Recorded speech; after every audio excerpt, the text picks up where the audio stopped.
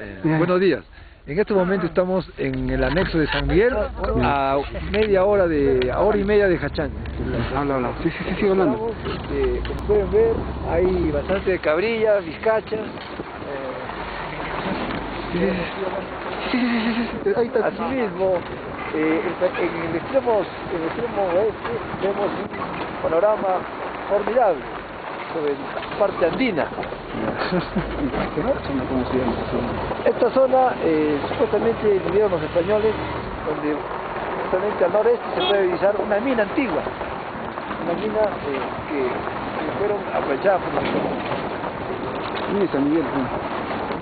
San Miguel es un pueblo gracias a, que un, un este hermano de la, de la congregación San